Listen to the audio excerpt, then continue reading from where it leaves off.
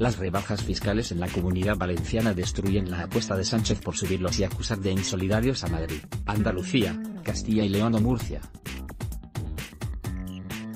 El anuncio de rebajas fiscales en la comunidad valenciana, reveladas por Chimo Puig sin aviso previo a Pedro Sánchez, destruye de un plumazo toda la estrategia del gobierno, que lleva semanas atacando con dureza a otras regiones, como Madrid, Andalucía o Murcia, promotoras de medidas similares.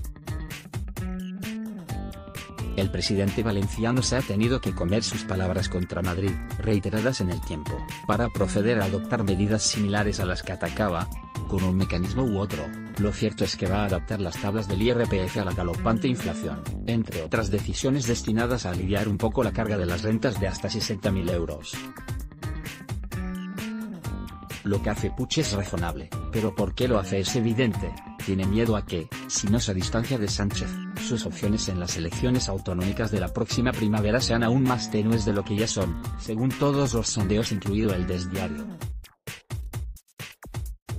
Porque la ciudadanía no entiende ni acepta la contradicción existente entre su pavoroso empobrecimiento y el récord recaudatorio del gobierno, sustentados ambos en el mismo fenómeno inflacionista que para unos impone sobreprecios, y para el otro más beneficios caídos del cielo.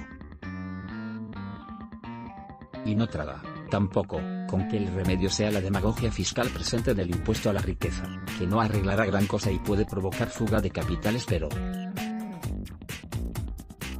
en todo caso, no alivia las penalidades del contribuyente medio, del trabajador por cuenta ajena, del autónomo o del pequeño empresario.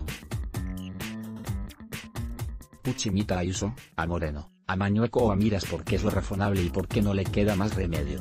Y le hace de paso un roto inmenso a Sánchez, que en adelante no podrá volver a llamar paraísos fiscales a las comunidades regidas por el PP. Lo que tendrá que hacer, si le queda algo de sensatez, es simularlas. Y con urgencia.